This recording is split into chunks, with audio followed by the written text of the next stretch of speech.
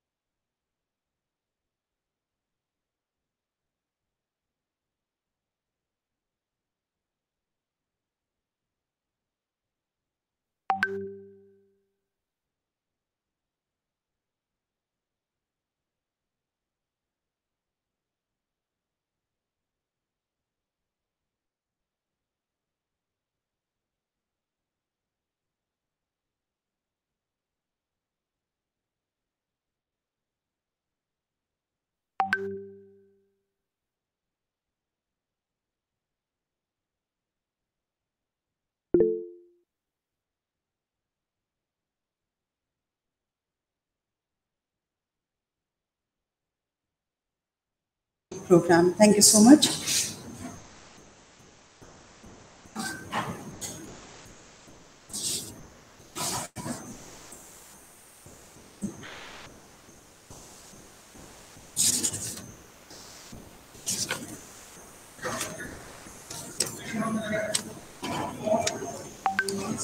We have enough space in hall two as well. So might I request our respected colleagues to usher into hall two as well. Thank you so much.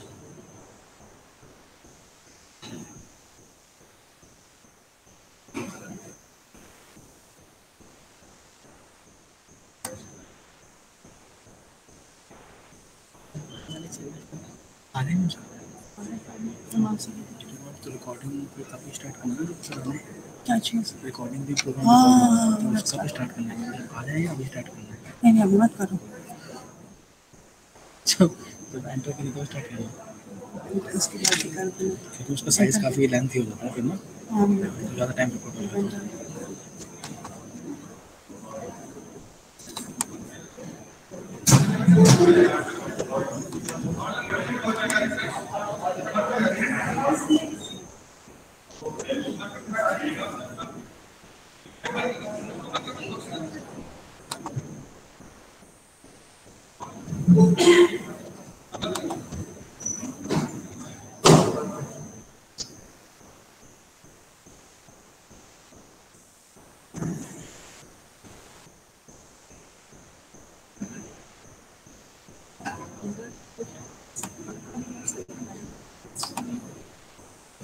کے لیے بولا تھا انہوں نے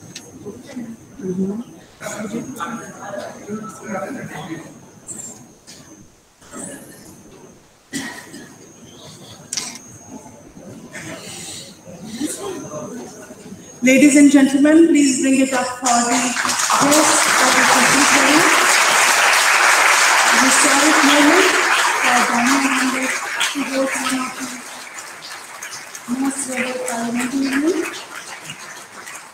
A huge territory across gender across society. Welcome you, sir. Thank you so much.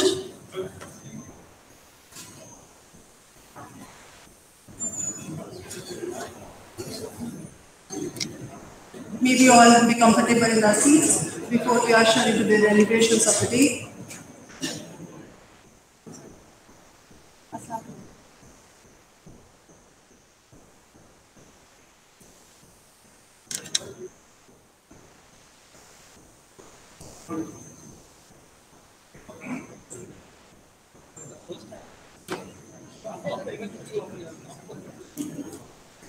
Permission of the chair, we may usher the deliberations of the day.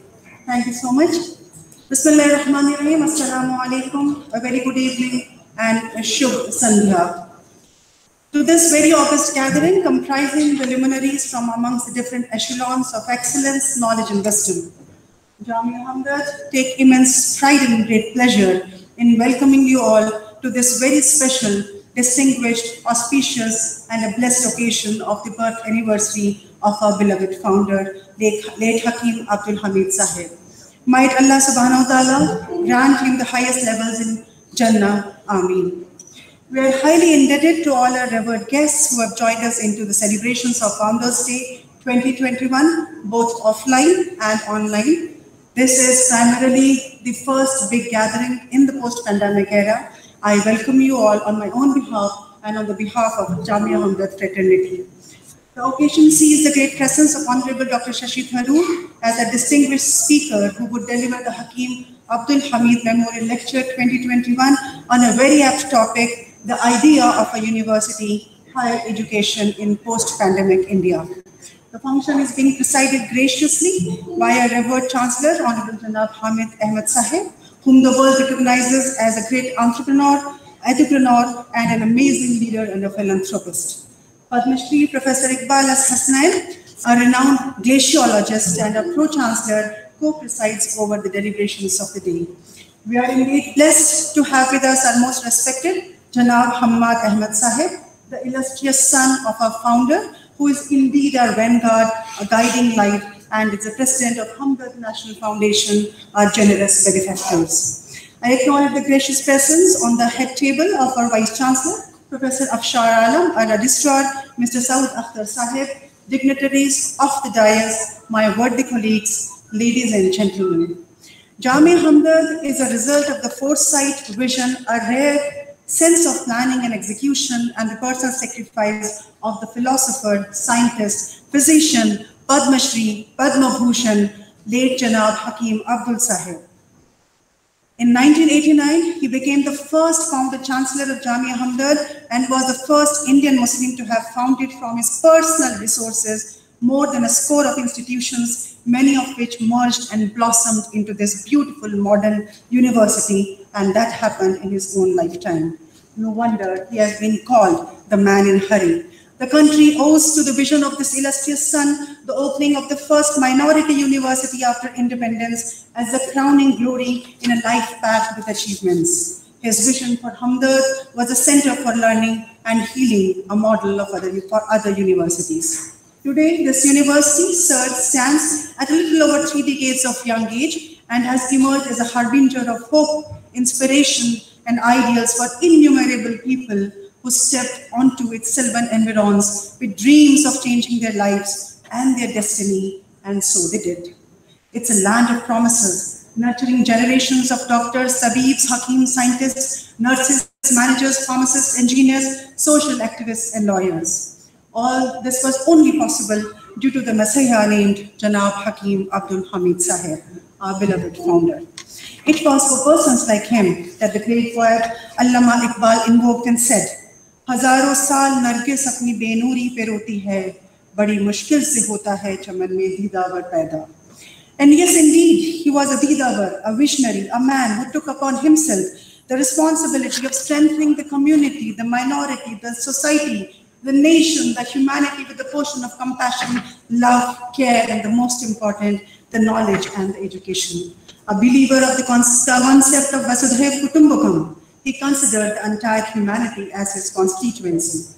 Taking an excerpt from Hakim Abdul Hamid Memorial Lecture delivered by Mr. Rajmohan Gandhi in 20 years back in 2001, I quote, the name Hamdard is enough to move me. I think it is one of the finest words and one of the finest sounds of the subcontinent and of the world.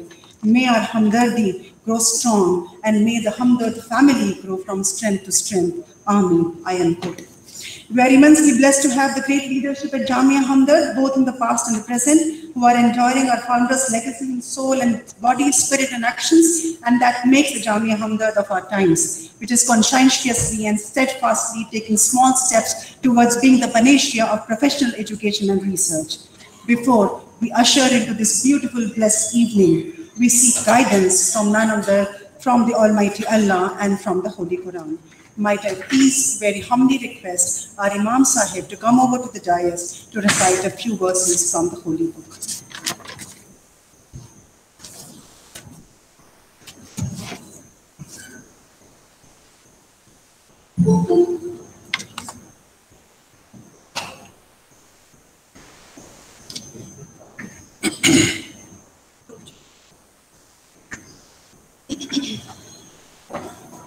أعوذ بالله من الشيطان الرجيم. بسم الله الرحمن الرحيم. إنما نطعمكم لوجه الله لا نريد منكم جزاء ولا شكورا.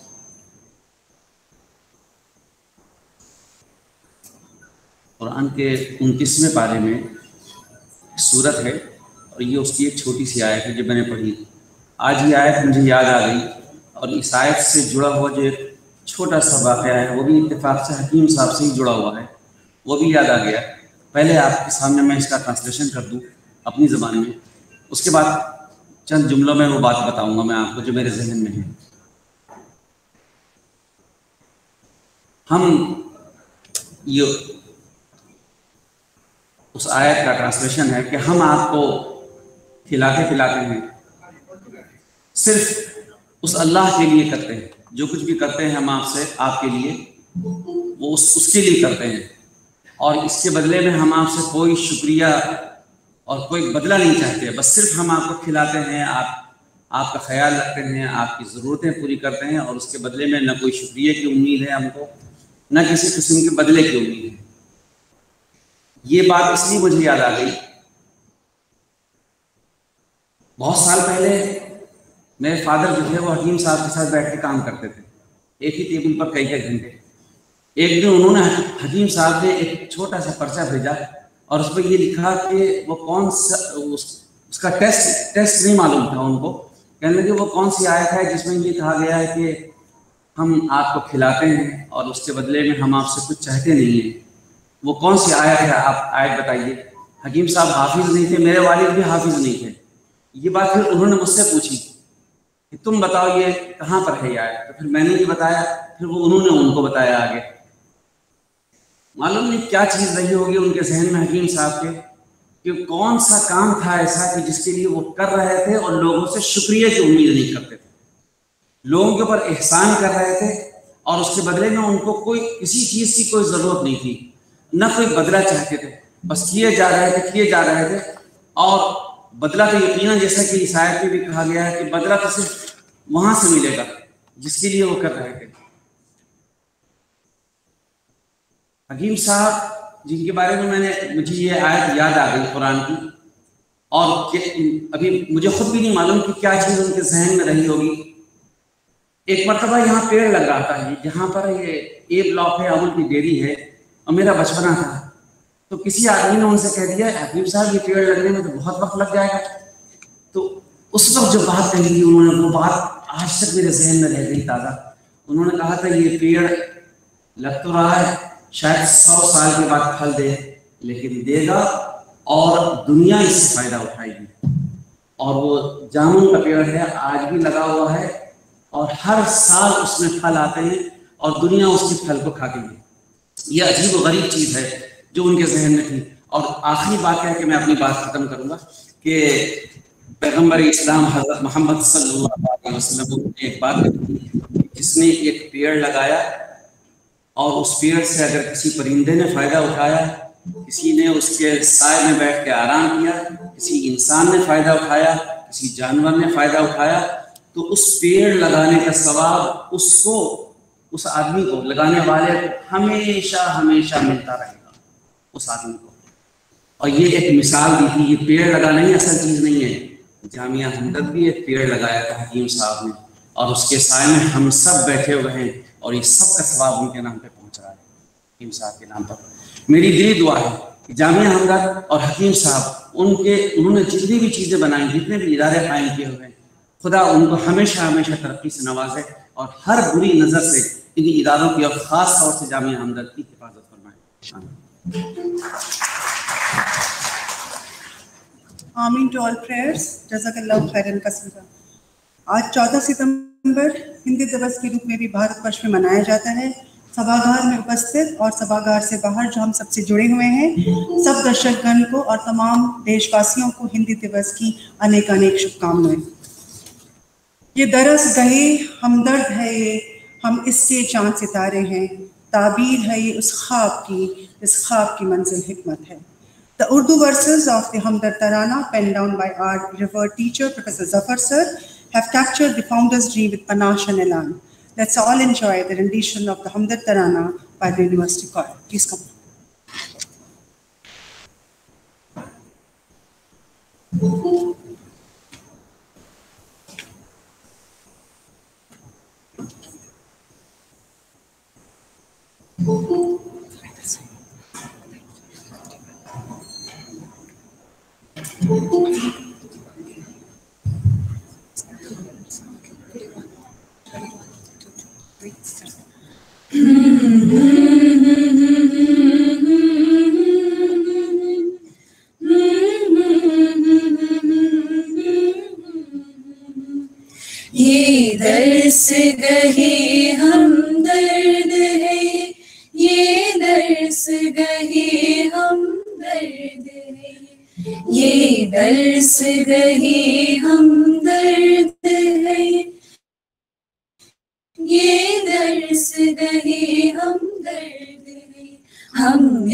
کے چاند ستارے، یہ درس گئے ہم درد ہے۔ یہ درس گئے ہم درد ہے۔ یہ درس گئے ہم درد ہے۔ تعبیر ہے یہ اس خواب کی۔ جس خواب کی منزل حکمت ہے، جس خواب کی منزل حکمت ہے۔ یہ شمع ایسی شمع ہے، جس کی کے جہاں میں شہرت ہے۔ جس کی کے جہاں میں شہرت ہے۔ اس وقت گزر رہے ہیں ہم سب۔ پر تارے بن کے چمکیں گے مانند گلوں کے مہکیں گے مہتا کی صورت چمکیں گے یہ درس گہے ہم درد ہے یہ درس گہے ہم درد ہے یہ درس گہے ہم درد نصرت و ظفر کا پرچم ہم اس عالم پر لہرائیں گے۔ اس عالم پر لہرائیں گے۔ اس روشن شمع کی خاطر ہر طوفان سے ٹکرائیں گے۔ ہر طوفان سے ٹکرائیں گے۔ سرسبز رہے، شاداب رہے۔ اللہ دعا یہ میری ہے، اس گلشن پر نہ آ جائے۔ اللہ دعا یہ میری یہ درس گہے ہم درد ہے۔ یہ درس گہے ہم درد ये दर्स गहे हम दर्द है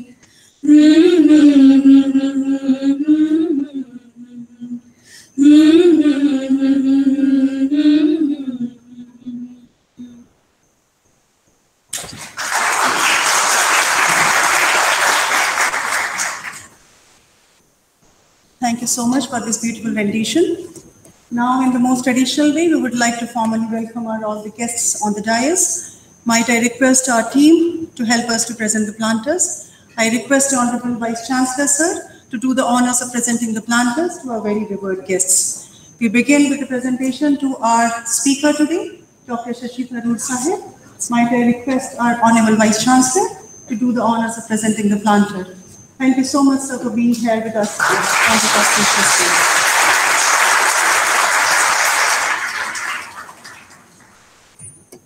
I also request you, sir, to formally welcome our head of the family, the president of Hamdard National Foundation, Janab Hamad Sahib. Thank you so much, sir, for all your blessings.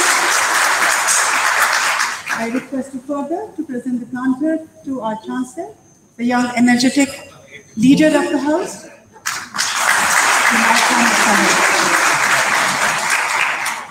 I also request you, sir, to present the planter to our Pro-Chancellor Sahib, Professor Iqbal Hasnain, sir. Thank you, sir. And I now request our Registrar Sahib to do the honors of presenting the planter to Afshar Sahib, our Vice Chancellor. Thank you, sir, for doing the honors. Thanks a lot.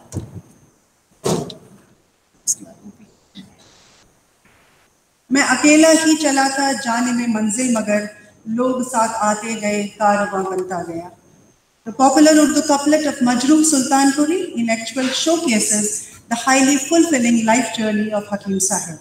He rests a furlong away from this place of gathering amidst the scenic beauty and a serene environment conducive to reflection and contemplation, which he chose as his karma bhumi as well as his resting place. He is in his eternal sleep, but the Hamdard Caravan continues to move on.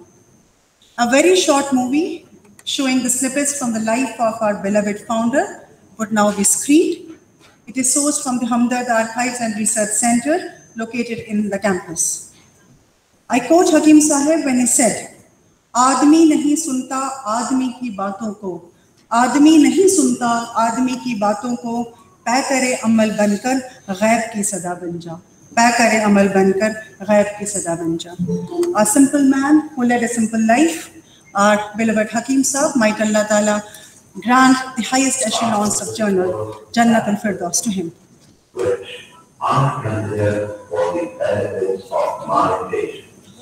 And experiments from what you are presented and it Jesus.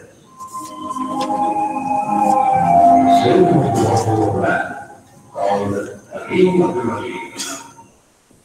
Like the president United practitioners of the king, who had thought that a small humanity satisfying the 1906 but one day reach these heights.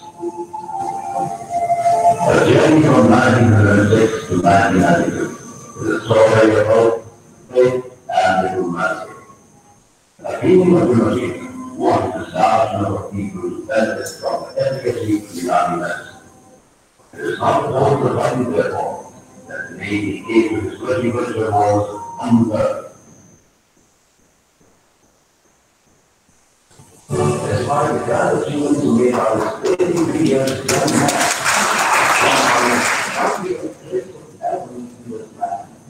The federal committee also every Thursday, where he management.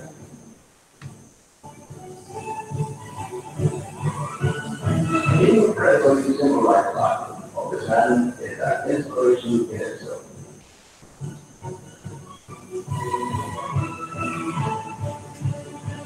It's not surprising that all those leaders, be it President Jawaharlal Nehru, Mr. Ramon Shakri, Mrs. Indira Hussain, Mr. Morarji Desai, Prince Charles of England, or today the young and Prime Minister of India, Mr. Rajiv had nothing but praise for his man and his institution. This is what Mr. Rajiv Gandhi had to say when he inaugurated the University. Its future, and its health,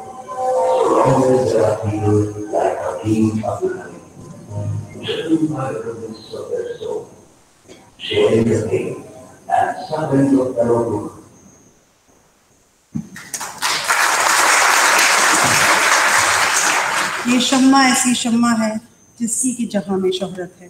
Thank you so much team Heart for providing this beautiful video I always say and we all believe that Jamia Hamdard is extremely privileged to have a great leadership who is deeply committed towards shouldering the great Hamdardian legacy, which focuses on changing its geography of excellence and who works the hardest to usher this unique seat of learning to the next orbit of success.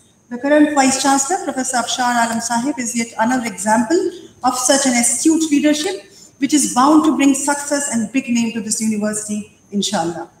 An IT professional and an expert of sustainable development and artificial intelligence, and alumna of two prestigious universities, AMU and Jamia Millia Islamia, Professor Alam is surely a multifaceted personality. He is an academician and researcher who has authored multiple books, produced numerous doctoral research graduates, and published his research work in the most reputed journals in the domain of computer sciences. He is perhaps one of the pivotal pillars of the Jamia Hamdard, who has tirelessly worked for its growth and development and contributed richly towards making this campus IT enabled. He has occupied positions in government agencies like DST, DBT, AICTE, just to name a few. A well-traveled person, he is known for his grit and determination to bring positive changes to the organization he works for. The Hamdard fraternity is to definitely benefit from his presence and stewardship. With these words, I welcome you, sir, for the delivery of your welcome address. Thank you so much.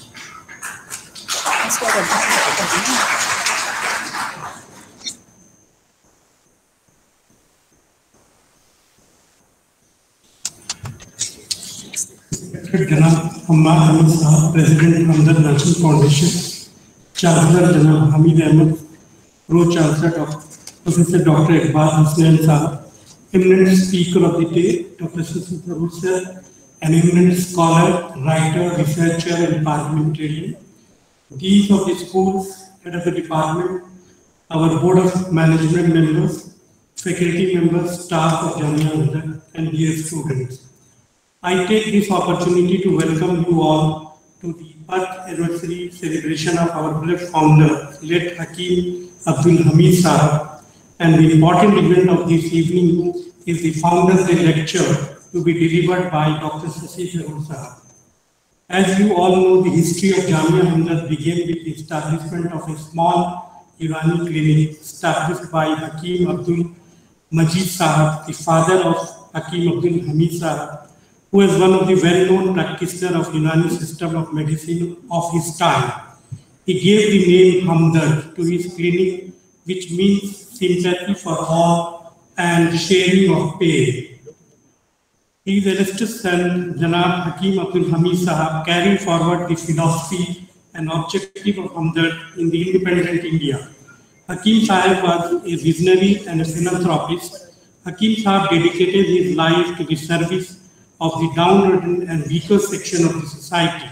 Contribution of Hakim Abdul Hamid is in bringing the downtrodden and the weaker section of society to mainstream education in praiseworthy. In another way, his contribution toward the cause of education for Muslims in this country in the independent India is similar to the work done by Sir Syed Ahmad Khan of Aligarh Muslim University.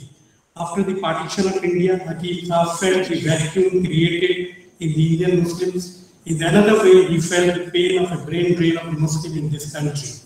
The plight of Muslim country man due to his lack of primary, secondary, and higher education worried Hakim Sahib. Hakim Sahib used all the profit generated out of his clinic to form a trust in order to divert all the profit for his clinic to the education. Created many institutions in the country. His dream of making institutions set up in Hamdard Nagar campus a reality on 10th May 1989. The university was inaugurated by late Sri Rajiv Gandhi ji, then Prime Minister of India. Hakim Sahib's dedication to the service of humanity, healthcare sector, social service was acknowledged by the Government of India by awarding Padma Shri and Padma Bhushan. He had treated nearly 2 to 3 million patients during his lifetime practice of Unani medicine. Today, because of the effort and vision of Hakim Sahib, Jamia Hamdard has emerged as an outstanding institution of higher learning with distinct and focused academic program in Unani medicine, modern medicine, Islamic studies, biosciences, pharmacy, nursing, information technology, computer application, business management, physiotherapy, occupational physiotherapy, law, mass communication, international studies, and many more. Jamia Hamdard has very rare extinction of achieving first rank in pharmacy as per the NIRF ranking survey for last three consecutive years and remain in the topmost position since the survey has come into effect. I take this opportunity to state that most of the staff and teachers joined Jamia Hamdard work tirelessly to make this institution to a great height due to the close connectivity and they have with our founder and his mission and wisdom. I will not take much time now and may, maybe two or more minutes. Now I will come to the topic chosen by Dr. Sasi Tharoor Sahab for this year's Founders Lecture, the idea of university for higher education in post-pandemic India, which is quite closely related to actual learning provided by Jamia Hamdard. During the COVID pandemic, I can proudly say that the university activities were, were in full swing with online teaching, online workshops, seminars, etc. As our university is a society-centric, even during this pandemic period, the university has been doing all possible help to the needy and distressed through uh, our Business Employment Bureau, one of the NGO founded by Hakim Saab, the Hamdard National Foundation, and other organizations. The work related to the Unnat Bharat Abhiyan is also going on. I am happy to state that the university achieved high ranking in Internshala venture of All India Council for Technical Education by providing thousands of internships to the student even in this pandemic period. Pandemic has been a great teacher for all of us. It has taught us that life is challenging and unpredictable, but we cannot afford to stay in our comfort zone. So be ready to face any challenge in life. It is a great honor for us today to welcome and listen Dr. Sasi Tharoor who said beautifully, India matters to me and I would like to matter to India. As an author, politician, former intellectual, uh, international civil servant with several wo- world of experience, currently he is serving as a third term member of parliament representing Trivandrum Lok Sabha constituency and chairman of the Parliamentary Standing Committee on Information Technology. He has previously served as Minister of State for Human Resource Development and Minister of State for External Affairs in Government of India. During his nearly three decade long international career at United Nations, he served as a peacemaker, refugee worker, administrator at the highest level and served as Under Secretary General to the United Nations during Kofi Annan's leadership. Then finally, I thank all for listening the lecture of Janab Sasi Tharoor Thank you very much. Thank you so much, sir. I'm bringing in, taking in a little liberty, just tweak the schedule a little bit. I'm tempted to call upon a person who is adorning the dais, who is very closely associated with Shashi Tharoor, sir, and he is none other but our Pro-Chancellor Iqbal, sir. So bringing to the house is Professor Dr. Iqbal Hassan Saib, who is a glaciologist, writer, educationist, and the former chairperson of the Glacier and Climate Change Commission of the Government of Sikkim. He is the former Vice Chancellor of the University of Calicut, Kerala, and a member of the United Nations Environment Program Committee on Global Assessment of Black Carbon in Troposphere Ozone. Professor Hasnain has served Jawaharlal Nehru University as a professor of glaciology in the School of Environmental Sciences and is also associated as a senior fellow with the Energy and Resources Institute, TERI, New Delhi. Between 2010 and 2013, he was a distinguished visiting fellow at the Stimson Center, Washington, USA. He has long advocated the impact of long-lived carbon dioxide and short-lived climate forcers like black carbon, methane, and ozone. He was very much acclaimed. Uh, his, his uh, one of the articles was taken up by the Time magazine, which is called as the climate change, the tragedy of the Himalayas. The government of India awarded Professor Iqbal Hasnain the fourth highest civilian honor of the Padma Shri in the year 2009 for his contributions to studies on environment to advancing the science of glaciology in India. And in a very recent meeting, I came to know that he's a great connoisseur of Urdu language and he has got a very keen interest in Sufism as well. Might I please request you, sir, to address this august gathering? Thank you, sir.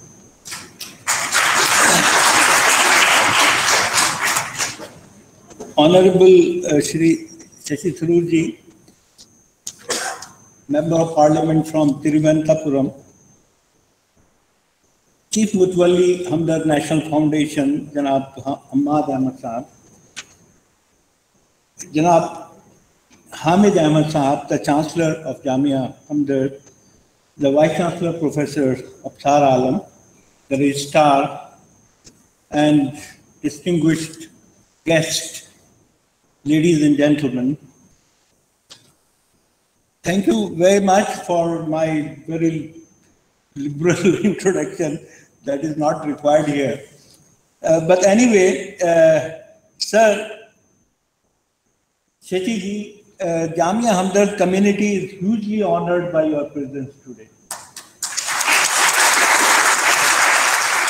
We were disappointed when you proposed to deliver memorial lecture virtually. Perhaps uh, my mail, laced with riddle emotions, has the right impact. And you wrote back immediately, okay, I will do it, Iqbal sir. so thank you very much. uh, is the celebrity public intellectual of South Asia, authored more than 100 books ranging in topics from riot, films, I think his title is different, cricket, Hinduism, colonialism, battle of belonging, and the struggle of Indian soul. I think the last book is still to hit the bookstore. I'm still looking for that book. Uh, and they say that it will come in November. He wrote extensively uh, about Indian culture, and I quote in writing Indian culture, I am hugely conscious of my own subjectivity. Arguably, there is more than one Indian culture, and certainly more than one view of Indian culture. Literally, the idea of India is of one land embracing many cultures. And that is where the idea of the university is embracing many cultures, many communities. Thank you very much, and thank you once again for gracing this occasion today. Thank you so much, sir. The man who sits here doesn't need any introduction, but I, as a big fan, would love to introduce you to the house. To address this august gathering, we would now like to call a personality who is a popular among the masses for bedazzling them with his fine speeches and brilliant vocabulary. While the younger generation would know him via the memes based on his astounding use of English and as an upcoming stand-up comic, he also has the skills of an amazing author and a proficient politician to boast for, along with his previous experience as an incredible international civil servant. Several achievements have already been delineated by our Honorable Vice Chancellor, so I would skip that. Dr. Tharoor received his schooling in Mumbai, Calcutta, now Kolkata, Delhi, and the United States. He earned his bachelor's in history from the prestigious St. Stephen's College and a PhD from Tufts University Fletcher School of Law and Diplomacy. A prolific author with 22 bestsellers to his credit, Dr. Tharoor has been writing for various uh, Indian investment period- periodicals. A recipient of the prestigious Pravasi Bharatiya Samman, he has also won several journalism and literary honors, including the Commonwealth Writers' Prize and Crossword Lifetime Achievement Award. In 2019, Dr. Tharoor was also conferred with the Sahitya Akademi Award in the category of English non-fiction for his book, An Era of Darkness. You may or you may not agree with his politics, but his brand of multi-hyphenate cannot be dismissed.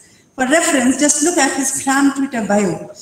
However, it's been amusing to see him gracefully adjust to this viral popularity of his varied lexicon. Don't get me wrong, I know he has always been popular, but the many memes and jokes have brought Dr. Tharoor's stellar sense of humor to forefront. A meme said, I quote, and this is his favorite one if I'm not wrong.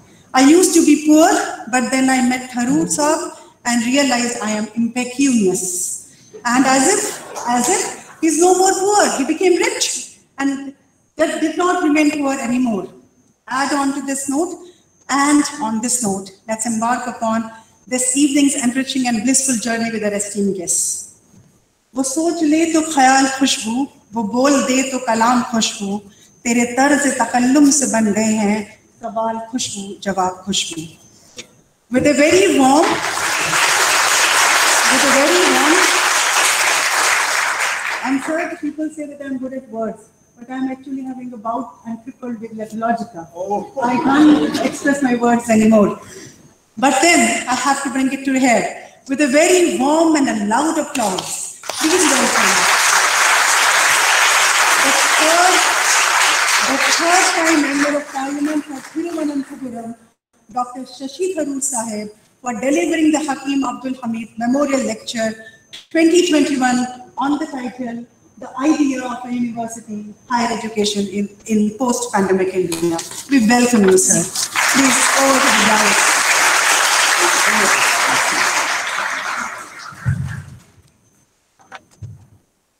Thank you very much, uh, Dr. Zeenat Iqbal, for that lovely introduction. My salutations to Janab Hamid Ahmed, Chancellor of Jamia Hamdard, my good friend Professor Dr. Iqbal Hasnain, the Pro-Chancellor. If there's a Pro-Chancellor, is there also an Anti-Chancellor? Uh, Professor Dr. Afshar Alam, Vice Chancellor, Janab Hamad Ahmed, uh, President of the Hamdard National Foundation, Sri Syed Saud Akhtar, Registrar, um, of course, Dr. Zinat Iqbal, uh, respected members of the faculty, members of the non-teaching and administrative staff, my dear students and friends. I hope that covers everybody. It's a pleasure to join all of you today, and I'm truly honored to be asked to deliver the Hakim Abdul Hamid Memorial Lecture in memory of that great educationist and physician, the founder chancellor of Jamia Hamdard and the former chancellor of Aligarh Muslim University, who uh, we all know. I've just had the pleasure of looking at the exhibition outside, which you must have all seen. A renowned philanthropist, an icon of Indian healthcare, particularly in the field of Unani medicine. His legacy should be a guide for us all in these testing times. When the issue of uh, public health has been at the forefront of uh, daily life for more than a year now. Hakim Saab contributed immensely to Indian life and the well-being of ordinary Indians. His life and work bring to mind the words of the great Muhammad Iqbal, of which we've already been reminded by Dr. Zinat. ہزاروں سال نرگس اپنی بینوری پہ روتی ہے بڑی مشکل سے ہوتا ہے چمن میں گداور پیدا let me add about his great efforts at institution building نہیں تیرا نشے من قصر سلطانی کے جنگ گنبد پر تو شاہی ہے بسیرا کر پہاڑوں کی چٹانوں میں I'm sure we're all in agreement that given these extraordinary times we live in, the theme of this evening's lecture, suggested by the organizers, is not just timely, but one of critical importance. The widespread transmission of the COVID 19 virus and the corresponding impact of the ongoing pandemic has spared no segment of our communities over the last few months. I'm sure many of us have had extensive conversations on the devastating impact on the health and well-being of our society and on the economic turbulence that is currently being visited uh, upon us all and weathered with varying degrees of success by our professional classes. Equally, the question of what comes after the current storm passes, and pass it will, and what the post-COVID world will look like, is one that has already gained prime importance. At least uh, judging by my own experience, I spent a good part of the lockdown speaking on this very subject. Everyone is already trying to think about a post-COVID world. And as recently as last week, I was asked to do a cover story for a prominent weekly magazine, The Week, on what a post-COVID world might look like. So these ideas are all very much on people's minds. But I don't need to explain to a distinguished gathering of educators and students from Hamdard, uh, Jamia Hamdard University, that the, the present pandemic has also posed a series of existential questions and formidable challenges, not just for us, but for universities across the world. I think it's fair to recognize that the current set of complexities our universities are grappling with marks a watershed moment in their common histories. And I think what we're talking about really, about when we talk about uh, India's universities in the post-pandemic context, we really are discussing broader questions of the future of universities everywhere. As Member of Parliament for Thiruvananthapuram, which itself is home to a number of premier universities in the state of Kerala, as a former minister in what is now more accurately relabeled the Ministry of Education, I'm very conscious that the impact of the current pandemic on our student community, and indeed on our university generally, is not just a, an abstract or theoretical exercise but rather one whose painful realities uh, have to be contended with. Throughout the course of the last year's lockdown, as well as in recent months this year, I've personally received emails in the tens of thousands from anguished and concerned students on a number of overwhelming challenges they've been confronted by, ranging from the uncertainty of the administration of critical exams, what this would mean for our students at the height of a healthcare crisis, with lockdown related movement restrictions between their homes and exam centers, exacerbated by the lack of clarity on postponements, to calls from doctoral students who have not been able to undertake the necessary research and fieldwork to successfully submit a competitive and compelling dissertation, and whose research grants have been unconscionably delayed, to urgent pleas from students in technical subjects who are unable to undertake internships and accrue the practical experience that are often mandatory in their respective courses, to the challenges faced by students on the wrong side of the digital divide as classes went online. And of course, a large number of cases of students who have previously been pursuing programs overseas, but are now caught in the geopolitical torments of closed borders, restrictive immigration laws, and limited international air connectivity. We all know that not all that ails our universities and our student life has been a byproduct of the pandemic alone. But there is no denying that existential problems that I've hinted at. Uh, and, and some of the problems uh, go beyond that. The global trend in slashing state support for universities, reduced allocations for research and innovation, and the quality of the output being produced. The over bureaucratization of academia, India is particularly guilty of that. Over regulation of our campuses, with UGC telling universities how many students, what faculty, what syllabus, what size classroom, all of that. And of course, the growing threats to the freedom of academic expression in recent years. All of these are likely to spike considerably in the post COVID world of our country if we are not able to find fitting answers to these very questions today. Now, the organizers have asked me to think aloud about uh, post pandemic higher education in India, and we can't, I think, approach that vast subject without looking at the larger conceptual issue of the idea of a university, a phrase which I'm sure many of you know is most famously associated with a two volume collection of essays with that title, published by Cardinal John Henry Newman in 1852, The Idea of a University. The idea of a university in which teaching and research were combined in the search for an impartial truth reached classic form in 19th century Germany, associated with the famous Humboldt model, which became the dominant global model of the university, a place with intellectual and academic freedom, university autonomy, the growth of independent disciplines with their own standards and priorities, and internationalism. This was the model Newman had in mind when he wrote his books. Though he was primarily speaking of religious education, Cardinal Newman showed remarkable foresight in articulating the concept of the modern day university as an intellectual and liberal engine for contemporary society, intended to serve as a haven for a community of thinkers for whom the cultivation of the intellect could be reasonably pursued for its own sake. Even a century and a half later, his powerful arguments for the value of a liberal education and the principal duties of a university are well worth looking to once again for inspiration. To Cardinal Newman, the purpose of education was not to be merely preoccupied with the gathering of knowledge, wisdom, or even scientific temper, but one that was motivated by the cultivation of a certain intellect and a universal knowledge that aided the enlargement of the mind. What would this imply to the university? To quote the Cardinal, he believed, quote, that as a matter of history, the business of a university is to make this intellectual culture its direct scope, or to employ itself in the education of the intellect, just as the work of a hospital lies in healing the sick or the wounded, of a riding or fencing school or a gymnasium in exercising the limbs, of an almshouse in aiding and solacing the old, of an orphanage in protecting innocence, or of a penitentiary in restoring the guilty, unquote.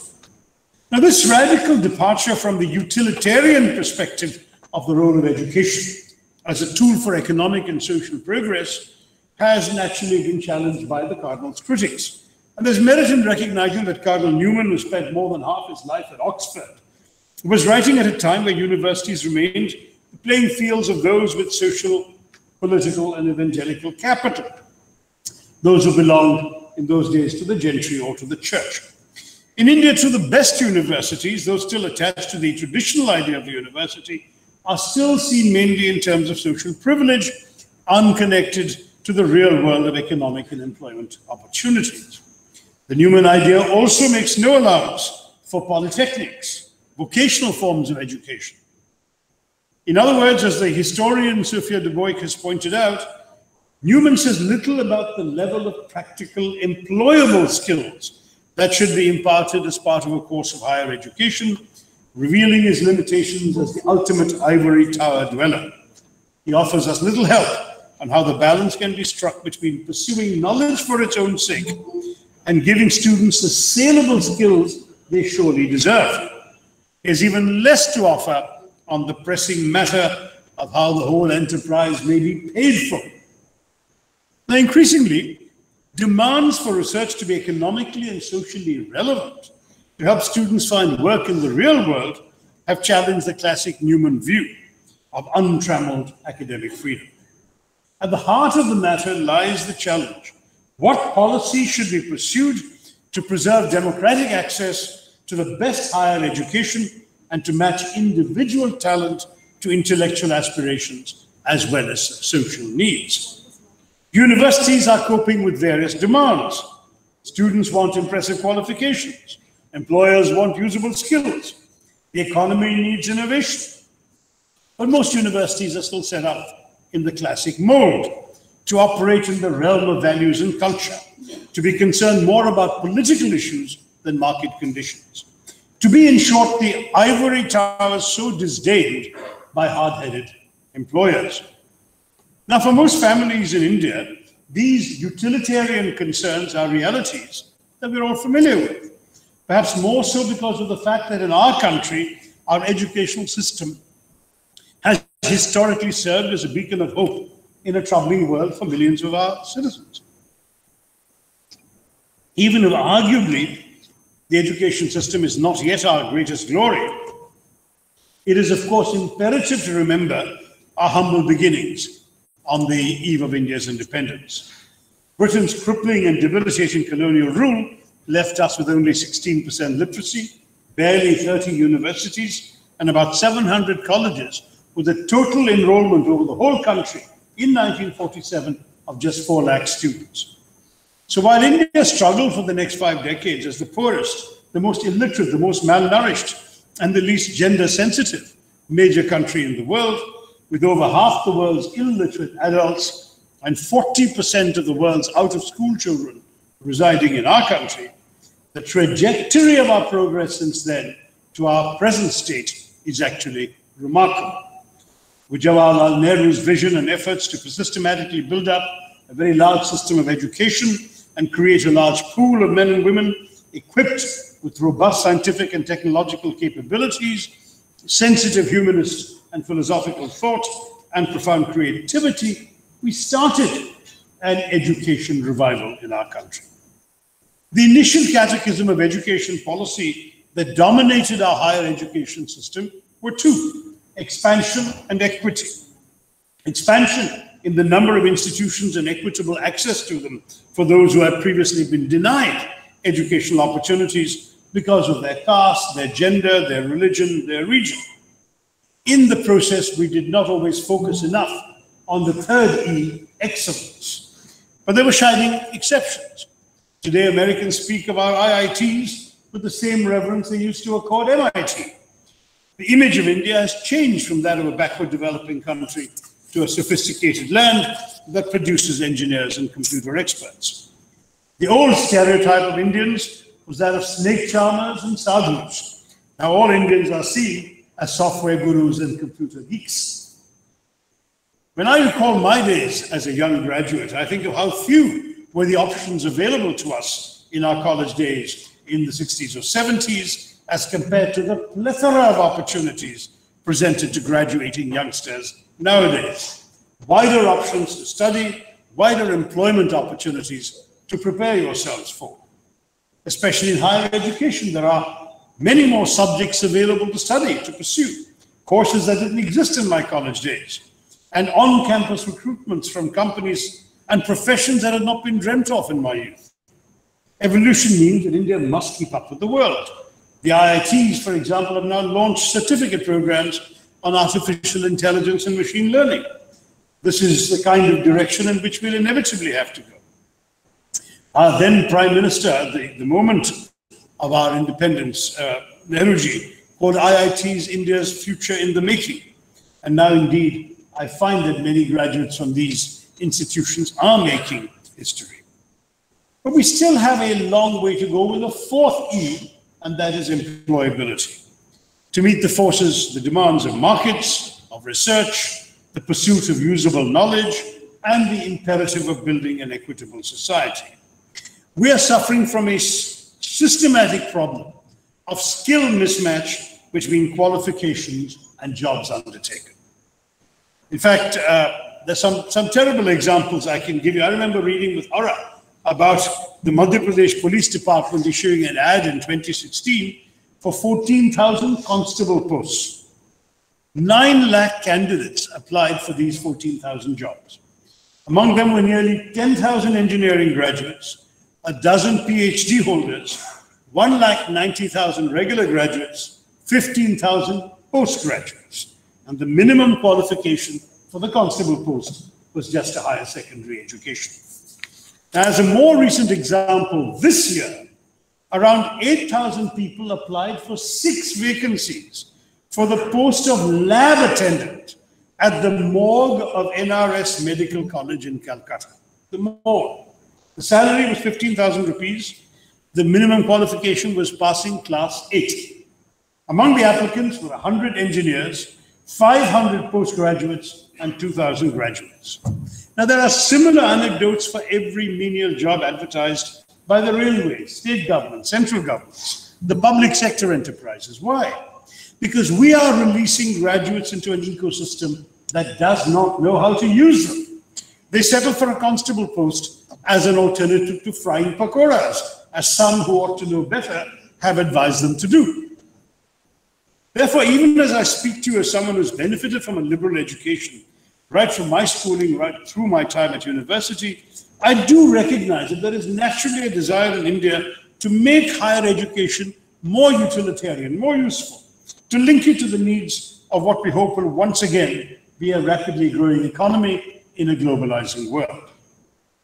And this is an argument I understand and empathize with, particularly today in this pandemic afflicted India, where unemployment stands at a 46 year high, where economic growth has slowed to a crawl, and where the devastating impact of COVID 19 is likely to compel us all to explore avenues to make up for terrible economic losses and a more hostile jobs market, while also, also bolstering our preparedness to weather perhaps future pandemics.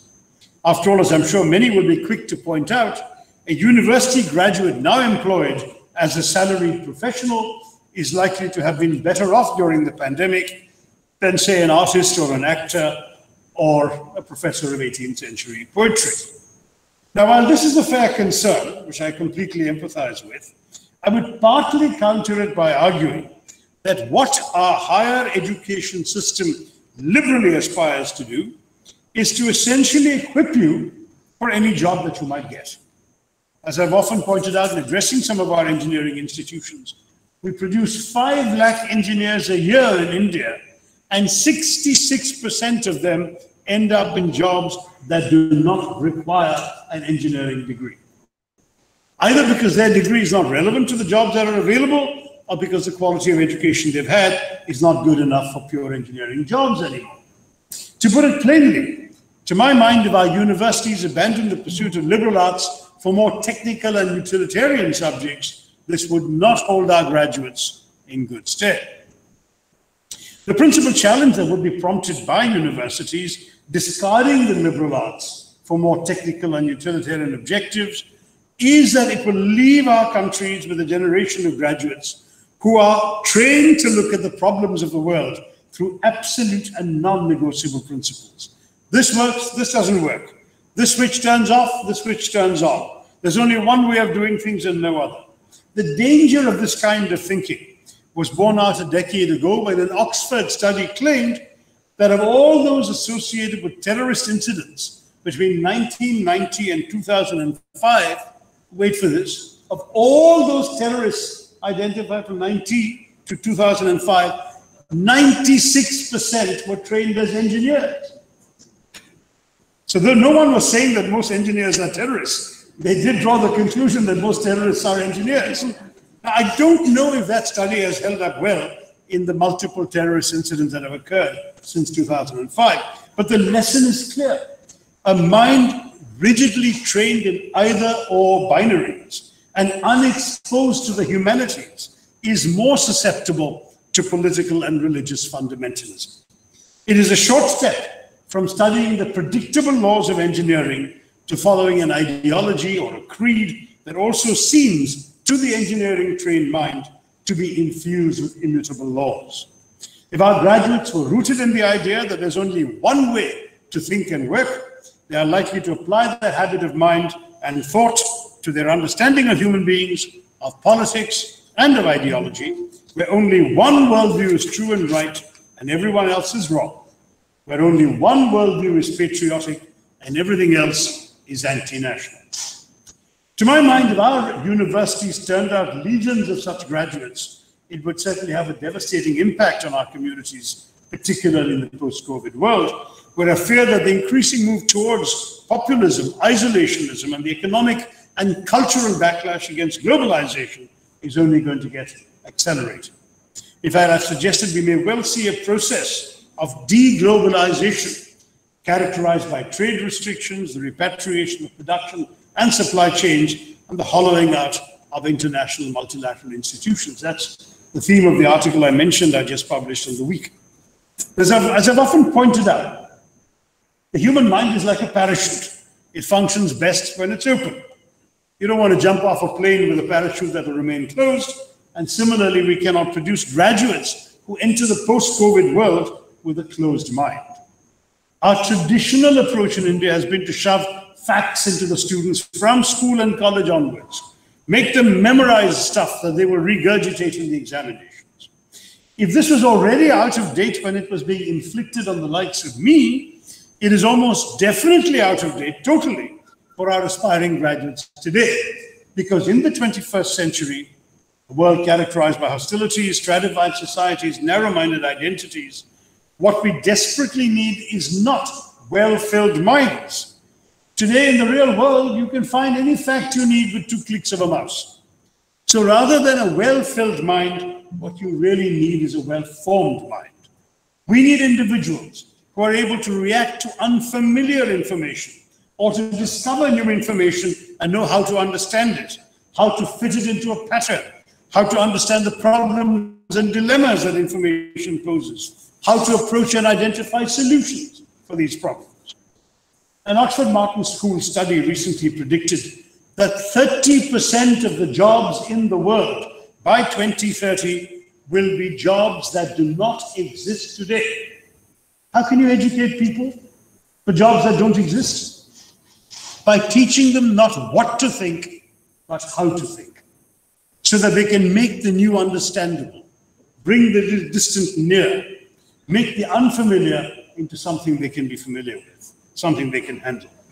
A well formed mind benefits far more from an appreciation of history or a knowledge of literature or a study of the way in which real human beings behave rather than the world of certitudes that our technical education provides for.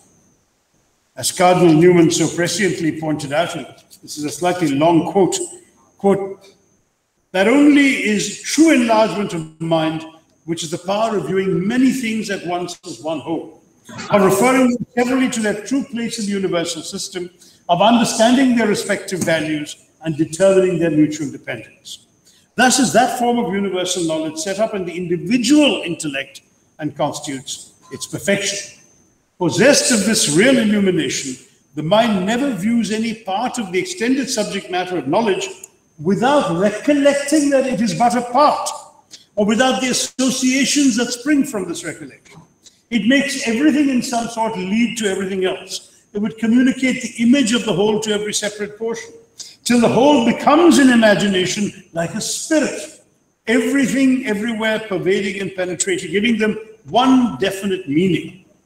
Just as our bodily organs, when mentioned, recall their function in the body, just as the word creation suggests a creator, subject suggests a sovereign, so in the mind of the educated person, Newman calls him the philosopher, as we are abstractedly conceiving of him, the elements of the physical and moral world, sciences, arts, pursuits, ranks, offices, events, opinions, individualities, are all viewed as one, with correlative functions and as gradually by successive combinations, converging by and all to the true center. Unquote.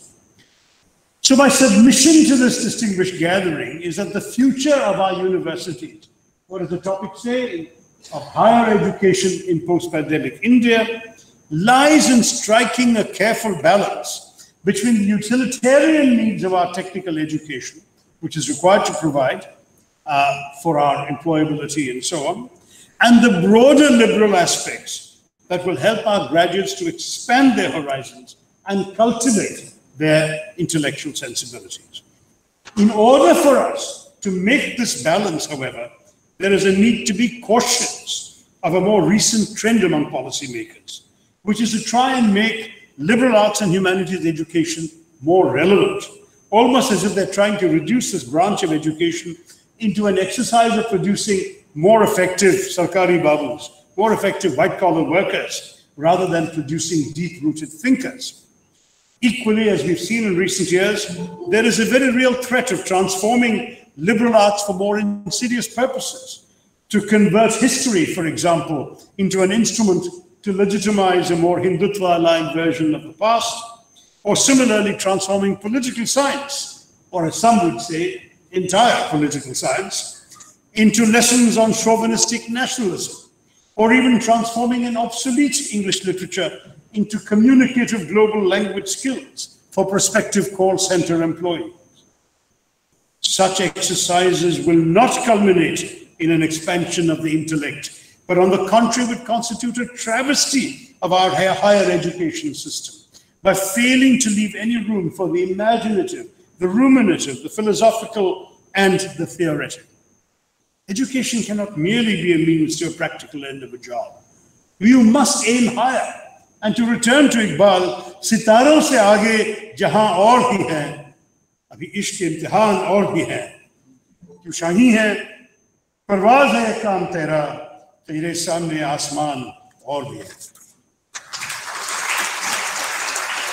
So this goal requires us to focus on the importance of the freedom of expression, of academic expression, and to ensure a sacrosanct separation of powers and influence between our campus spaces and the forces that would like to bend our education spaces for ulterior gain. These are dangers that have been highlighted by the famous Hindi scholar Apoorvanand, who, in his own collection of essays that have also been published under the title The Idea of a University, has warned against a growing assault on academic space by right wing forces in our country that are determined to establish an exclusionary and linear worldview and entrench narrow minded chauvinistic dogmas on our campuses. To Professor Apoorvanand, the impact in these assaults, which I'm sure you're all familiar with, so I won't go into details, have a vitiating impact on the future of our democratic society because they undermine the capacities of our society to hold the ruling dispensation accountable. He makes an interesting dichotomy between the freedom of expression and academic freedom, arguing that while citizens have freedom of expression but do not inherently have the intellectual wherewithal to examine the claims of the powers which seek their consent to rule them, academics, with their long engagement with knowledge, have the tools to test the political and policy premises and promises offered to people. They must share it with the public to help them take informed decisions. So they need freedom. Academics need freedom, not for their own sake, but for the good of our society. Academic freedom, he argues, is more than just the freedom of expression. It is a basic necessity without which the business of knowledge cannot be conducted. All democracies must therefore resist, I'm quoting Apoorvanand here, the temptation of controlling the campus. Now, his is an argument that's well worth engaging with in the context of understanding the future of our universities. The truth is that in the globalized world in which we live today, in the diverse democracy that we are and must preserve and protect, our students are increasingly likely to be surrounded by others who do not necessarily subscribe to their point of view and may not subscribe to the same set of beliefs and convictions or even the same set of cultural practices, culinary preferences, or customs that they affirm. In our own country, we've seen how the rejection of liberal cosmopolitanism has resulted in an increasingly fractured society, where many of those in leadership positions today are unable to look beyond our differences and regard our diversity as a problem that must be contained. These are individuals with a monolithic view of the country as one of their own faith, of their own community, and of their own language, and by extension demand social conformity within our society. I think many of us understand that when you see the state of divisive politics in our countries, where people seem to be acting out of hatred and out of stereotyping of an entire people as an other, the inherent lack of empathy has sadly become a distinguishing factor of our leadership. There is a growing deficit of individuals who are able to look at people of other religions, other races, and other languages and actually recognize that ultimately we actually do share the same dreams, the same fears, and the same hopes. Sadly, too many are incapable of broadening their minds in a way that understands the myriad manifestations of the human condition, while at the same time appreciating the universality of human aims and aspirations. In producing the graduates amongst them, our universities sadly have failed us. We must never forget the importance of our diversity. As Anwar Jalalpuri put it, अनेकता में जहां एकता मिली अनवर हम इस दयाल को हिंदुस्तान कहने लगे and this has to be preserved in our universities. It is vital that our universities are therefore courageous enough to remain as free and open spaces where dissent and multiple worldviews are welcome and cherished for their complexity and diversity, and which ensures that in our rambunctious, chaotic, and magnificent democracy, all these spaces and channels are kept open. These open channels must enable our students to engage in equal parts with what Cardinal Newman described as the image of the whole and each, each separate portion. the future of our universities must be rooted in developing a generation of leaders that is more ready to deal with a national and global order, a world where multiple realities can coexist, where alternate view- worldviews and convictions have to be encouraged and negotiated with, and where students are taught to look beyond themselves and their immediate surroundings to the reality of interdependence and peaceful coexistence. As the British educationist Robert Anderson put it, the idea of a university which combines teaching and research and develops the general powers of the mind, as well as giving specialized training, has three possible fates. First, it could be extended with only minor compromises to all parts of the mass higher education system, but it makes excessive demands on resources and seems unnecessary for much vocational training. Second, one may declare the Humboldtian University to be dead, consign it to the past, fit all universities into utilitarian and managerial mode.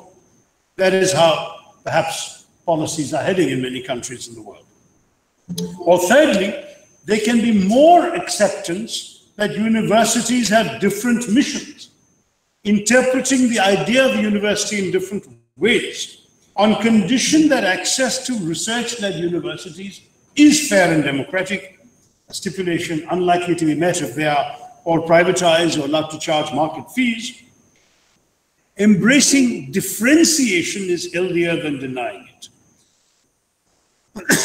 now, I would suggest that in tomorrow's post COVID India, we try to see the idea of a university not as a fixed list of immutable characteristics, but in Anderson's words, as a set of tensions permanently present but resolved differently according to time and place. These tensions include those between teaching and research, between autonomy and accountability, between intellectual integrity and social economic relevance.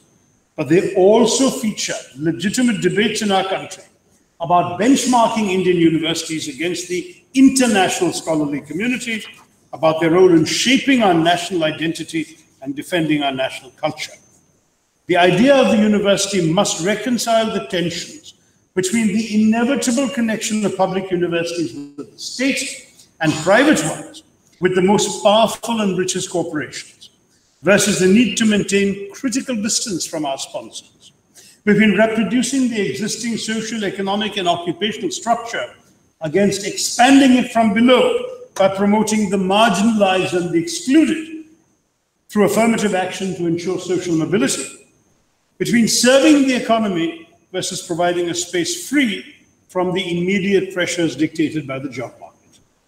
Above all, there is the chronic and perhaps permanent tension between universities as places devised to encourage open and critical attitudes against society's expectations that universities will impart useful qualifications and employable skills in the service of India's future. Evidently, in resolving these crucial tensions, a balance must be struck that seeks the impossible to reconcile seemingly incompatible objectives with the ethos of a commitment to a better future for India. We must be far-sighted enough to recognize that at its core, in a democratic society, our universities must evolve into spaces where an ideal version of democracy itself is allowed to thrive. In other words, our universities must become the staging ground for experiments in developing the most principled version of our democratic ethos, and by extension, a microcosm of what our democratic, democratic society one day could be. As Ghalib pointed out, नजार नजर को बदलो तो नजारे बदल जाते हैं सोच को बदलो तो सितारे बदल जाते हैं कश्तियां बदलने की जरूरत नहीं दिशा को बदलो तो किनारे खुद बदल जाते हैं We cannot, of course, reach these ideals if we do not actively strive to ensure that our campuses are inclusive and representative. After all, no democratic model can sustain itself if it does not carve out spaces for all voices, no matter how big or small, to be heard. This is not just what we try to rectify through instruments like affirmative action, need based scholarship programs, and so on, which are important, but a commitment to really taking stock of the barriers to access and inclusion that permeate all levels of our society. To use one example that I briefly touched on at the beginning, as classes go rapidly online in the COVID era, we as a country have not successfully addressed the deep and pervasive digital divide that many families have had to contend with. We live in a world brought to us by Facebook, Google, and Twitter, but we also live in a world where over 3.7 billion individuals do not have access to the internet including 1 billion children for whom it will not be possible to work remotely, learn remotely. According to UNESCO, globally only just over half of the world's households have an internet connection. In the developed world, 87% are connected, compared with 47% in, developed, in developing nations and just 19% in the least developing countries. These stark realities, along with other barriers like infrastructure deficiencies we all know in our country, basic access to electricity, reliable Wi-Fi, teachers equipped to use digital curriculums. All this have resulted in insuperable barriers for our weak and marginalized, even forcing some of them to take extreme steps in their desperation.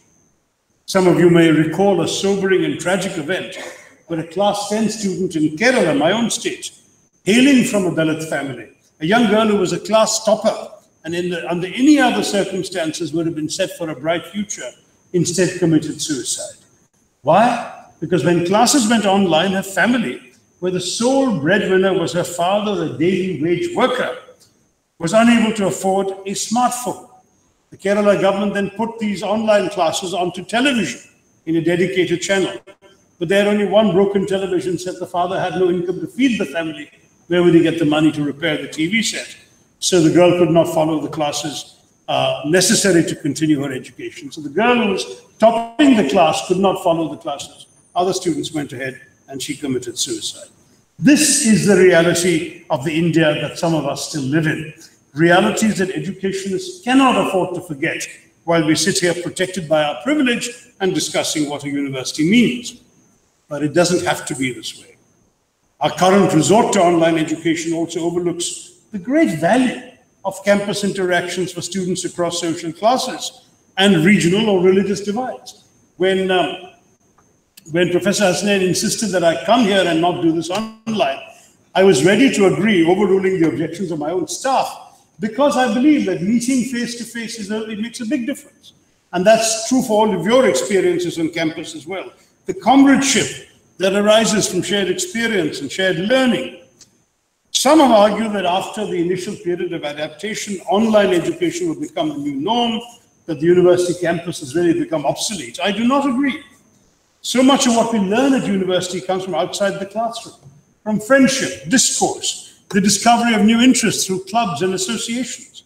A physical campus space is intrinsic to all this. And above all, the university campus can be a place where people can be brought together, where the social barriers of class, caste, religion, are left behind, and where instead young Indians are given the tools to lead an empowered life, a space where narrow minded and exclusionary ideologies and identities are replaced by a willingness to accept differences and cherish the diversity of thought and belief.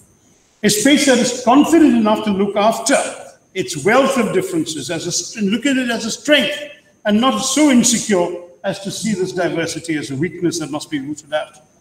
a space where the administration is attuned to the aspirations of the students, the next generation of India's leaders, and where these young minds, the engines of our democratic and pluralist society, are not subsumed only by personal ambition or the commercial rat race, but are invested in the success of those around them. If we can manage to do all this, we can develop an idea of the university that remains open, inclusive, and representative, an idea which will become the engine of India. If we can manage to do this, I'm confident that the India of the post COVID world will be carried forward by a new generation of leaders who will take our country to new heights. That is, to my mind, the idea of a university in today's context. It can be done. You are the ones who can help us do it. Times may be hard, but the challenge we, challenges we're facing are not insurmountable. Remember, آتے ہیں آنے دو یہ طوفان کیا لے جائے گا؟ میں تو جب ڈرتا کا میرا حوصلہ لے جائے گا دنیا کا کہ ہر جنگ وہی لڑ جاتا ہے جس کو اپنے آپ سے لڑنا آتا ہے۔ Thank you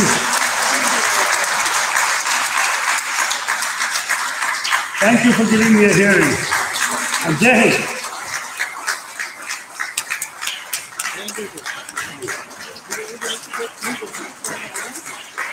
Nothing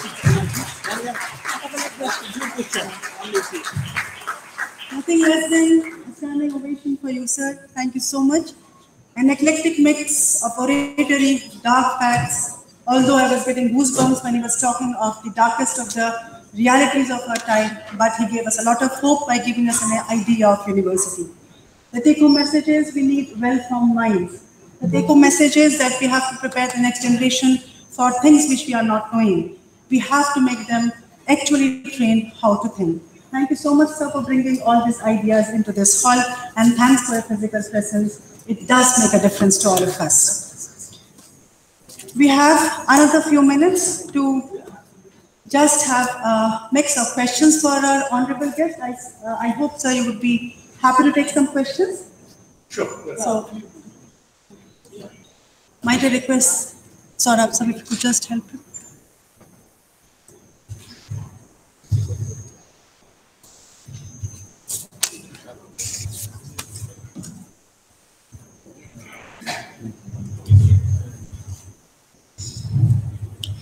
So you tell me who you. Uh, we are all different as the individual. Introduce yourself. Introduce yourself. Just Sir, I'm Professor Ram. I'm here uh, in the institute and also the science So, as a professor, we heard you and we heard this picture. I am, I hope that everybody in the hall will write uh, the hearing. Uh, my only uh, is that 1968, national education policy, times, uh, India needs to spend percent of the GDP in education. And after 52 years, in 2019, we have only spent one percent of the GDP. And that very definitely have. Well, I think you're absolutely right that we have not managed to do the kind of expenditure that was envisaged way back in the sixties. In fact, the target was even articulated soon after the independence discussion. That point, our week of the Kothari Commission, came up six percent of what is realistic. Instead, you see three point one, I have seen three point six, but it doesn't matter, it's too small. I think the honest truth is, we should not stop looking to the government to fill that gap.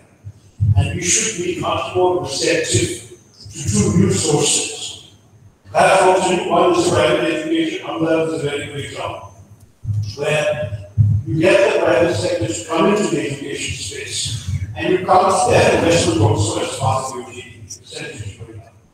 And the second, frankly, is foreign universities. You know, there's been an unnecessary resistance in our political space to foreign universities coming into India, which is something that other countries don't Whether it's China, whether it's the Middle Eastern countries, they all welcome foreign universities coming in and establishing campuses in their countries. And I think we should open, open our doors as well. Do you know that Indian parents are currently spending $3 billion, I'm not exaggerating, billion B, every year just in educating their children abroad. Now, if we can repatriate that three million here, believe we've seen Because the problem is that, uh, you know, many subjects, you are not the outstanding top of line getting into an Indian institution because they're different. Medicine is a very.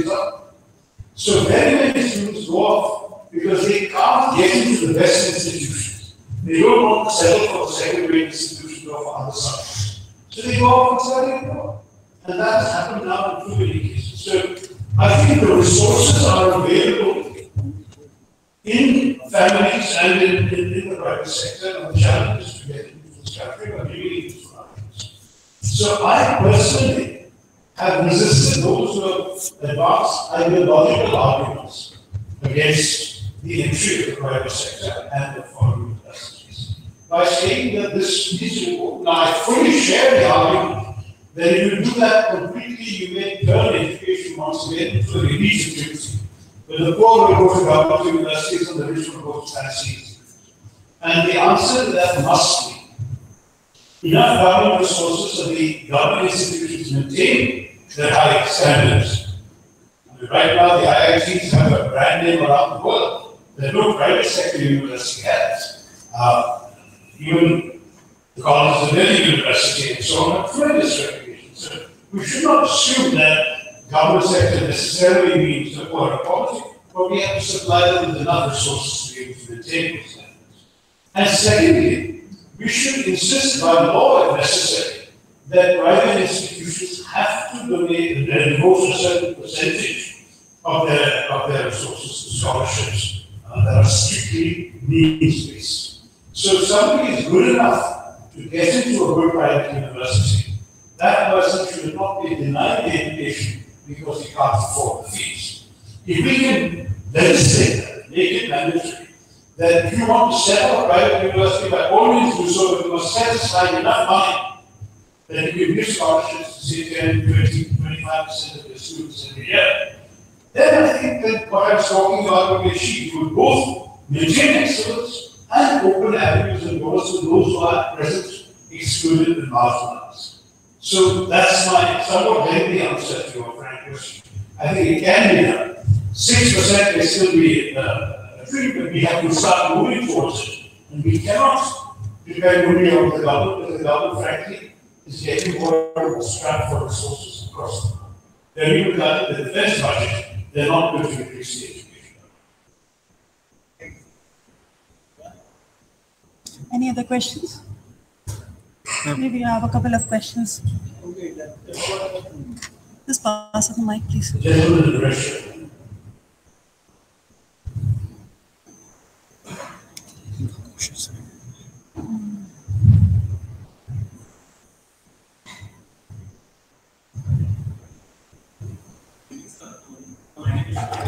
Hey, hold on, a bit closer. Hold it a bit closer to you, you'll be fine. Just switch it on, switch that on.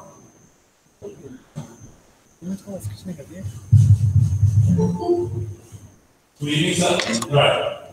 My name is Rohit and the my question is, sir, sir, if you see world university ranking, we are ranking way, way behind them. Sir, if I give you an example, the CMU was established in 1967 and our IT DBU was established way, way behind them, but till now we are not able to compete with them in the, in, the field engineering and research. So, uh, what do you think, sir, where we are lagging behind and what we can implement? Well, this is a very good question. When I was minister, we actually looked into this being budget.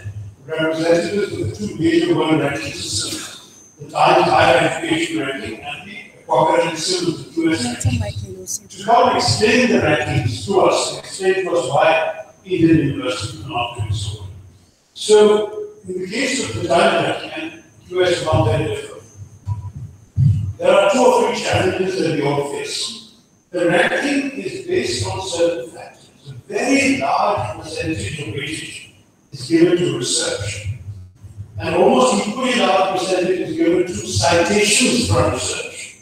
And there is a good chunk of for internationalization of both students and faculty. Internationalization, most Indian universities score very close to zero because the demand from our own people is so great.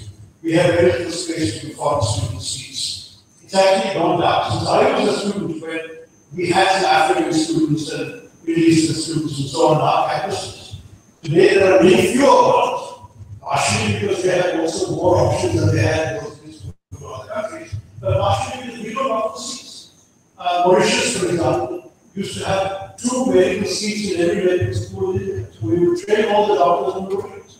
That's completely gone now because we don't, we can't spare the medical seats. There's such a demand. and there's a shortage of seats. So that, that, that is what internationalization is not zero.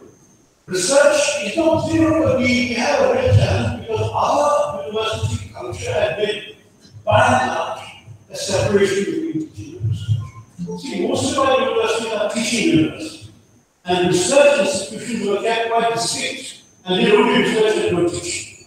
Whereas the model on which the world rankings were done, essentially tried to give to universities that teach and conduct research. So this is changing. This is changing. For the first time now, we have many institutions in the top 500. We didn't have, we didn't have any in the top 2,000, as should be 10 years.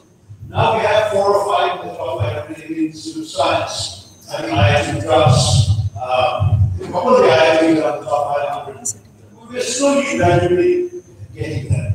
My own honest view is that we should certainly try and aspire where possible to matching these global expectations.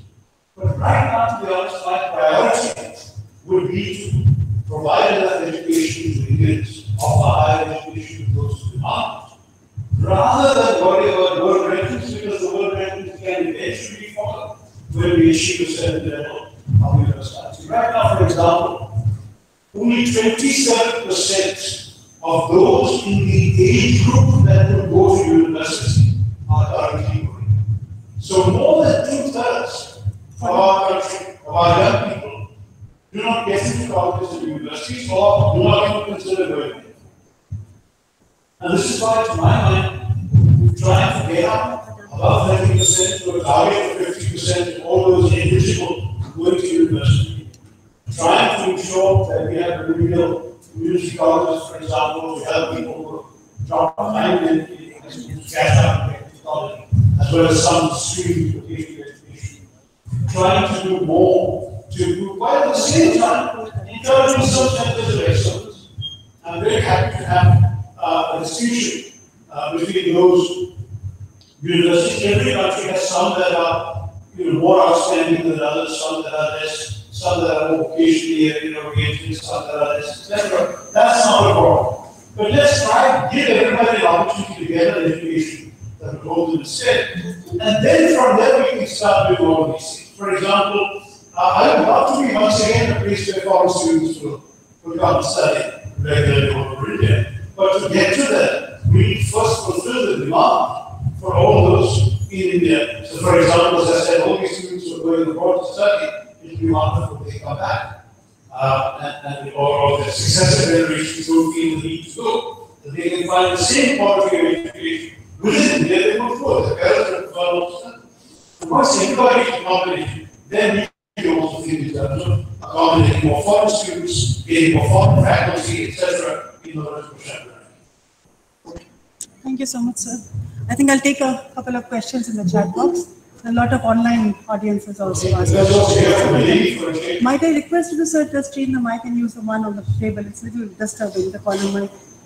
If you could That's just- uh, this is the one that they want me to use. Can we give him the? Well, that's clear to me, so I'm Okay, fine, fine. As you wish, as you wish.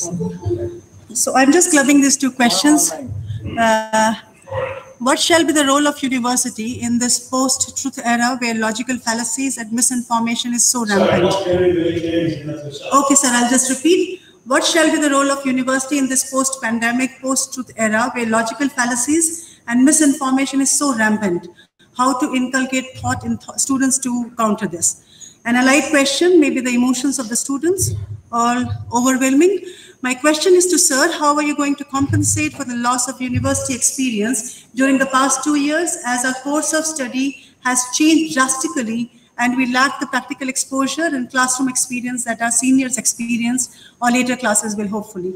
Poor fellows, I think they're missing the college life. What impact will that have on our career?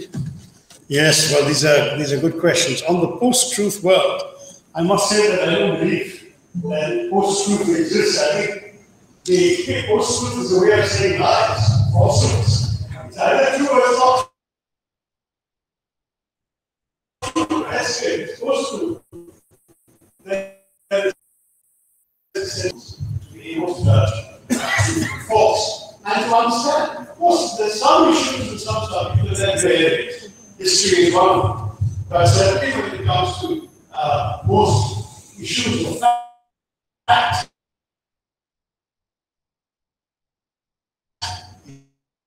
it's either factual tendency to shade the students, to my mind, very dangerous. Uh, and I think giving to our students the critical faculties required is something that, as I said in my lecture, is a fundamental obligation of the university. On those who miss two years of university, I, I really feel sorry. It's like the young people in, in Europe in World War One who never got uh, a full college education because they were sent off to the trenches. Uh, of course, there were some young Americans who fought in the Vietnam War and as a result came and got scholarships to go back to university.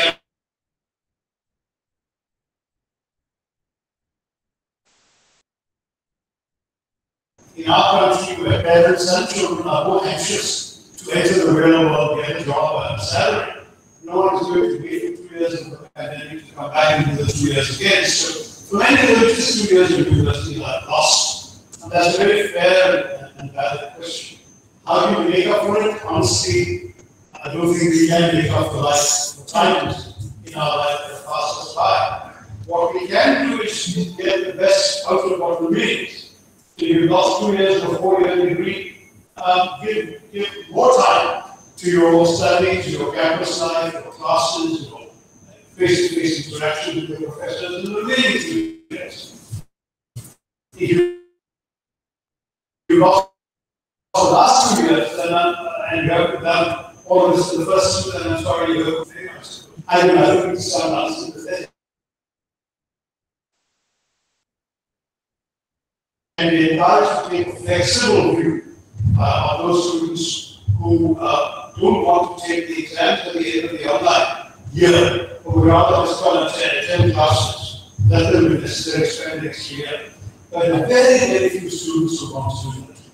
In our society, in our culture, that we see this tantamount almost to fail, and they'll be expected to take the finish the degree, and move on. So I don't expect too many to go that route. In that case, all that can be said is, it can't be made up, but get the best out of what else there is. And then perhaps to compensate, try and go for postgraduate studies or whatever the next degree is that you might not otherwise have done, but because you missed these two years of opportunity, try to learn some more. There's no that. Learning is something that actually we never seem to do. You don't only learn in university campuses. I, I say with utter honesty and sincerity that I've never stopped learning every single day of my. Not one day that goes by when I feel I haven't learned something new. Might be a word, might be an idea, might be a concept, might be a fact, but you learn. You, you have an open mind, always learn. Um, when you feel missed out on learning in a structured university environment, by all means, do another degree, what's cost harm? Find yourself an opportunity to add to your storehouse of learning and knowledge, to make up for what purpose. You're all living in an era of expanded lifespans. So whereas some of us, and you entered workforces with the retirement age was 56 or 58, today the retirement age is 60, 62, people are talking about 65. By the time today's uh, 25 year olds will come to that age, they will be retired at 65. So they have the time, they can take two more years to study. Sure, absolutely. Please, please, one more here. There's a hand here. I think, sir, the answer could be uh, creating more Jamia Hamdards. The answer could be creating more institutions like Jamia Hamdards, having more Hakim Sahibs, having more HNFs. Because that is exactly what the answer to this all problem is. And Jamia Hamdard is actually moving in that direction. We have started courses on policy making, we have launched a course in medical virology, And I think a lot of the questions are answered through looking at the founder and the benefactors and this institution. I think that, that brings it in. So we have another question perhaps? So my name is Rima Qureshi and I'm from Hamdard National Foundation Area Business and Employment Bureau, where uh, train students in personality development and spoken English skills. So such different questions, uh, different from the topic. Uh, basically, I train, I teach uh, students who belong to Urdu speaking schools, Urdu medium schools. So uh, uh, it was like uh, four five years back case. One girl came to us. We do a lot of coffee councils.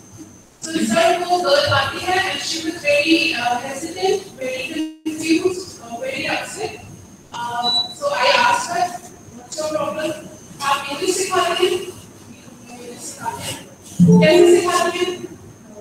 बहुत सारी techniques हैं और presentation हैं lectures हैं books हैं grammars हैं और तो मुझे इंग्लिश सीखनी है मैं बहुत इंस्टीट्यूट ट्राई कर चुकी हूँ मैं ब्रिटिश काउंसिल कर चुकी हूँ पर मुझे कुछ काम नहीं है صاحب کیسے مجھے ششی تھرور صاحب کیسے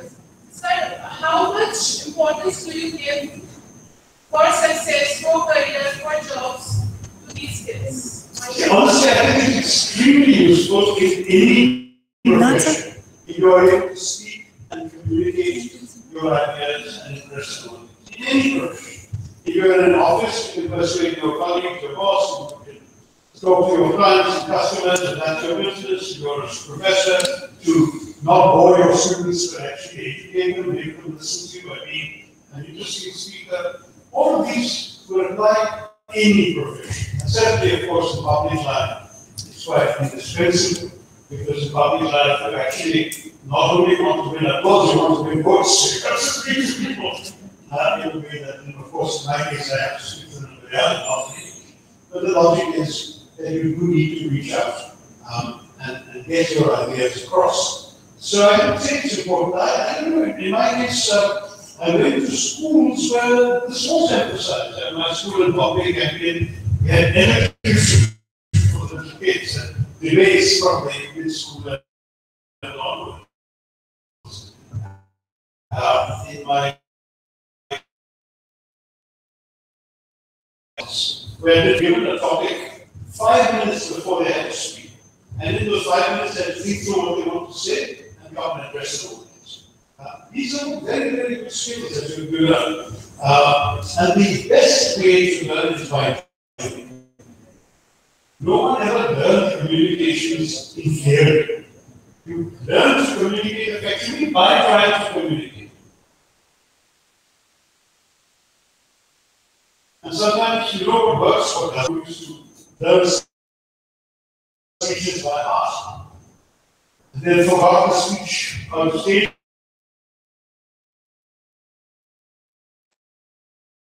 Christ, that they rest to communicate directly to God. All these things I think really new by doing. And for most things in life, of a practical nature, the best way to do is that decisions. And I would urge that if people want to speak, they should have confidence to speak. Initially, they will be afraid of making mistakes. Make the mistakes. I mean, to be honest, it doesn't matter. That's why we decided to मुझे मलयालम में ना हिंदी ना अंग्रेजी में नहीं है तो why should I say only masculine or white feminine? I have no idea. I'm assuming the white is feminine. Then I'm supposed to listen.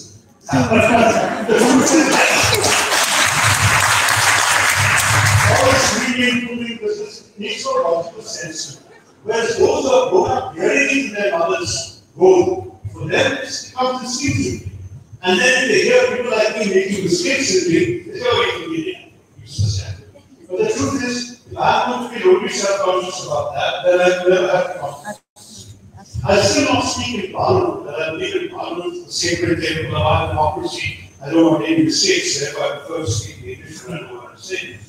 But uh, say a television soundbites or, or television interviews, I know I'm making mistakes. You should only by doing have confidence The same applies to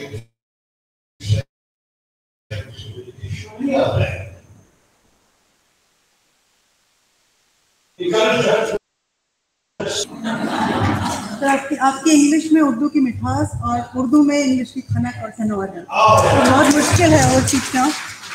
And I think on this note you should give the word of the day in the memory of the founder. Please give us the word of the day on this historical what is the word of the day today? For us. Okay think about it. We'll wait for it.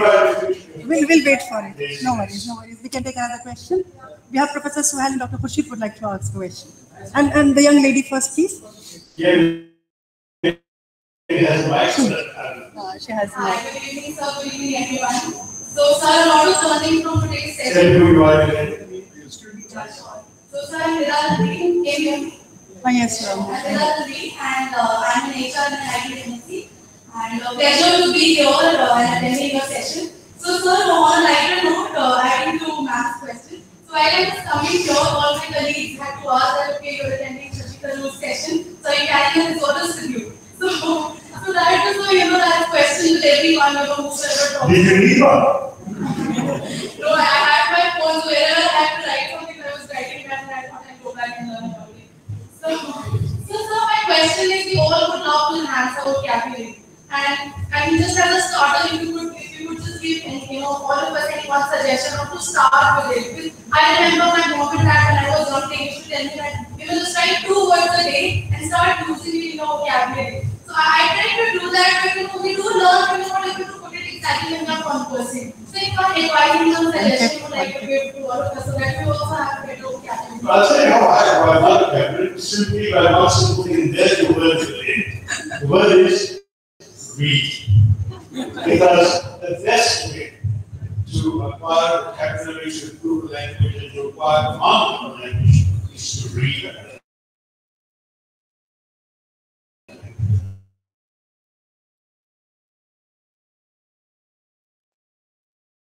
The words. You will not only understand the meaning of the word, you understand its usage, its nuance, and so on.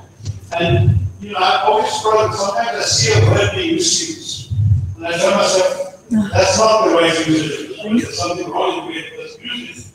But just in case this is usually a very evident procedure, made a mistake.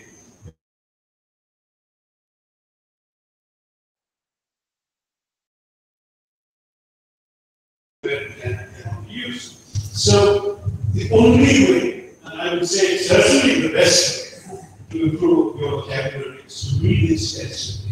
The more you read, the more words you acquire, the more words you acquire, the bigger your vocabulary and your command. So that is honestly the best thing to do. And in any university, and so and I was taking the students here, see some, that um, never think of books purely in relation your homework or your coursework uh, your schools. I am dismayed when I see some of today's children who associate books only with compulsory school reading. I tell them that for people like me, books are a source of pleasure. It is a source of enlightenment, of course, of education, of course, but also of entertainment. Because the same words that you use in your school textbook, also words that enable you to enjoy further comic novel, distractions of sorts, an argument about politics, some discussion of your favorite sport, a biography of Dilip Kumar, whatever you want. Words are words, they can be applied in different contexts. And I think we can encourage more reading. I realize the challenge is not great enough, because when I came up with this approach, I was doing so in India, when it was good where they were uh, settling your computers, mobile phones, handheld devices, Nintendo, PlayStation, whatever. So therefore, books were the only main distraction available.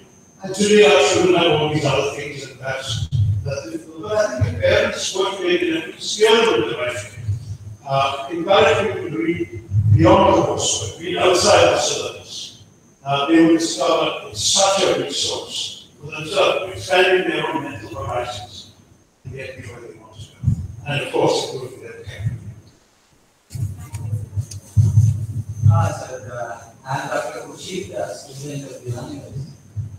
اصل میں کوئی سوال نہیں پوچھ نہیں بس میں گھر پہ بیٹی کو بتایا کہ آپ آ رہے ہیں تو اس نے یہ کہا کہ سر کو تو ہر حال میں سننا اچھا لگتا ہے ایک ہفتے پہلے اس نے یہ بھی سیکھ لیا کہ آپ ہندی فلموں کا گانا بھی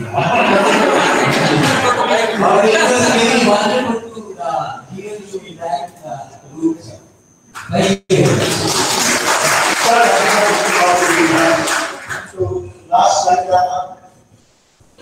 کشور کمار کا کوئی مہمان رہنے نے پیچھے سر ہمارے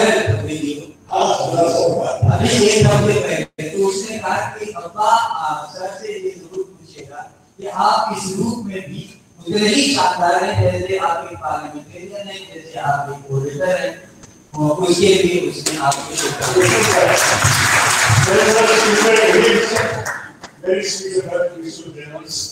Tem que lembrar da base, não se engana. Não é parcela.